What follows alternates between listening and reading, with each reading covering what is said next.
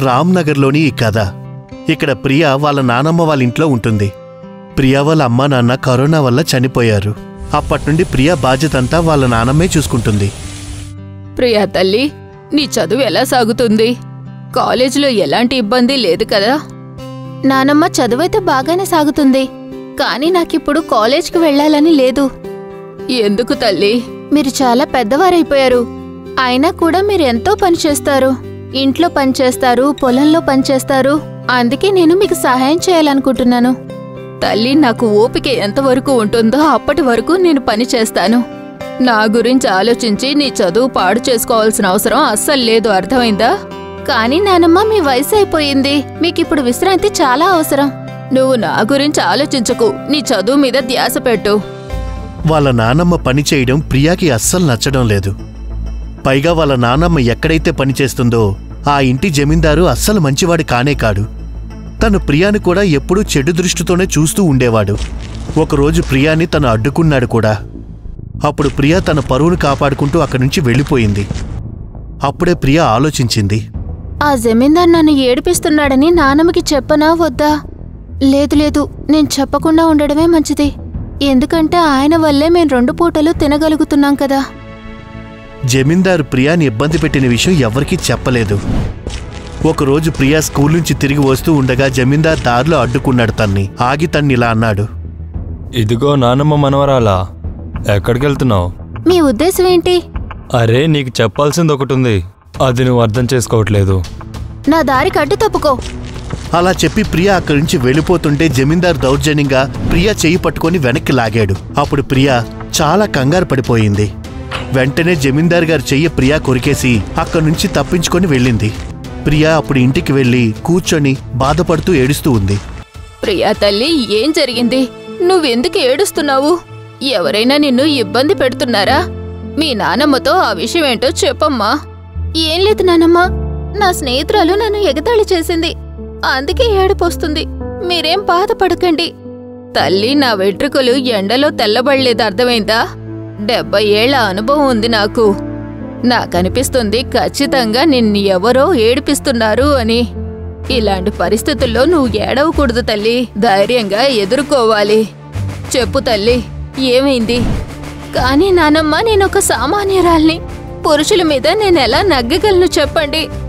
తల్లి ఝాన్సీ రాణి కూడా ఒక సామాన్యురాలే. పరిస్థితులకు తగ్గట్టుగా నువ్వు కూడా ఒక కాళిగా దుర్గగా మారాల్సి ఉంటుంది ఈ రోజే ఇప్పుడే నీ మెదడులో నుంచి నువ్వు బలహీనురాలు అన్న సంగతి తొలగించు అప్పుడే నువ్వు అలాంటి మృగాలని ఎదుర్కోగలుగుతావు. అదంతా విన్న ప్రియా వాళ్ళ నానమ్మని గట్టిగా కౌగిలించుకుంది. ఆ తర్వాత రోజు నానమ్మ రామాయణం చదువుతూ ఉంటే అప్పుడు ప్రియా వాళ్ళ నానమ్మని ఈ విధంగా అడిగింది. నానమ్మ మీరు రామాయణం చదువుతున్నారా? అవును తల్లి. అయితే నాకు దసరా గురించి ఏమైనా చెప్తారా? హా ఏ రోజైతే రావణాసురుడు చంపబడ్డాడో ఆ రోజు నుంచే దసరా జరుపుకోవడం మొదలయ్యింది. అవునా?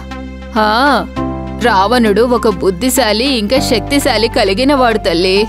తన శక్తుల్ని చూసుకొని విర్రవీగుతూ ఉండేవాడు. ఆ అహంకారంతోనే సీతమ్మ తల్లిని ఎత్తుకు వెళ్ళిపోయాడు. అప్పుడే అతని చావు మొదలైపోయింది. సరిగ్గా చెప్పారు నానమ్మ. గొప్ప బుద్ధున్నంత మాత్రాన ఏమీ జరగదు. ప్రతి మనిషికి తన మీద ఆత్మవిశ్వాసం ఉండాల్సిందే. అప్పుడే మనం విజయాన్ని సాధించగలుగుతాం. ఆ ఈ మాటని నువ్వు బాగా గుర్తుపెట్టుకో. ఇక తప్పు చేసిన వాళ్ళకి బుద్ధి చెప్పు. ఎవరి దగ్గర కూడా తల వంచుకోవాల్సిన అవసరం లేదు. అతను ఎంత గొప్పవాడైనా సరే. అది విన్న ప్రియ వెంటనే ఒక నిర్ణయం తీసుకుంది. ఆ జమీందారికి సరైన జవాబు చెప్పి తీరాలి అని. కొద్ది రోజుల తర్వాత దసరా పండుగ రోజు వచ్చింది. దసరా రోజు వాళ్ళ ఊర్లో మేళా జరుగుతుంది. ప్రియా ఎప్పటినుండా మేళా కోసం ఎదురు చూస్తూ ఉంది. నానమ్మ ఈ దసరాకి ఇద్దరు రావణులు అంతమవుతారు. ఇద్దరు రావణులా? నాకు అర్థం కాలేదు. ఒక రావణ్ణి రాముడు చంపాడు. ఇక మనిషి రూపంలో ఉన్న ఇంకో రావణుడు వాణ్ణి నేను చంపుతాను. చూస్తూ చూస్తూ ఉండగానే చివరికి దసరా రోజు వచ్చేసింది.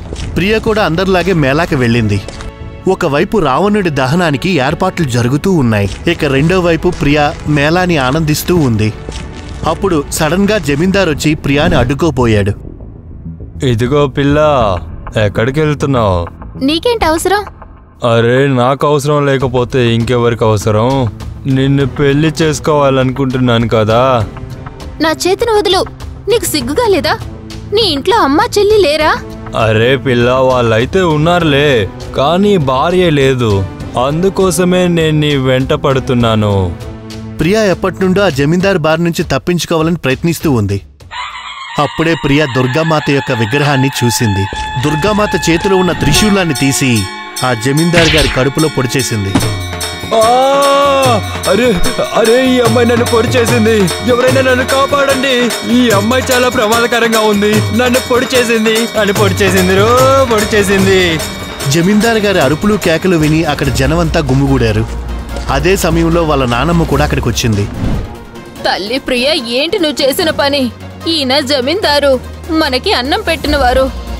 నానమ్మ ఇతను అన్నదాత ఇన్నదాత ఏవి కాదు. వీడే ఆ రాక్షసుడు నన్ను శారీరకంగా హింసించినవాడు. ఏంటి?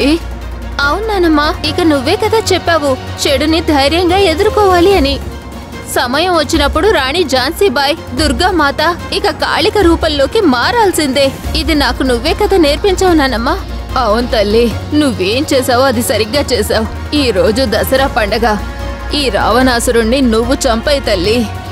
ఇదిగో బామ్మ దయచేసి నన్ను క్షమించండి. నన్ను వదిలేయండి. మీ జీతాన్ని ఇంకా నేను డబల్ చేస్తాను. ఇక జమీందార్ నాకు ఈ విషయం చెప్పు. భగవంతుడైన రాముడు రావణాసురుణ్ణి విడిచిపెట్టాడా? లేదు. మరి నా బిడ్డ ఎందుకు నిన్ను వదిలిపెట్టాలి? తల్లి ఈ రోజు దసరా. ఈ రావణాసురుణ్ణి చంపేసేయ్. ఒకవైపు రాముడు రావణ్ణి దహనం చేస్తూ ఉన్నాడు. మరోవైపు ప్రియ ఆ దుర్మార్గుడైన జమీందారిని వధిస్తూ ఉంది! మరొకసారి చెడుపై మంచి విజయం సాధించింది. ఏ ప్రకారమైతే సీతాదేవి రావణుడికి లొంగలేదో అదేవిధంగా ప్రియా కూడా జమీందారుడైన ఆ దుష్టుణ్ణి సంహరించింది. తను జమీందార్ని సంహరించి ఏ నారీ కూడా తక్కువ కాదని నిరూపించింది. మీకు గనక మా వీడియో నచ్చింది అంటే ప్లీజ్ మా ఛానల్ని సబ్స్క్రైబ్ చేయండి. అలాగే ఈ వీడియోని లైక్ చేయండి అలాగే షేర్ కూడా చేయండి. ధన్యవాదములు.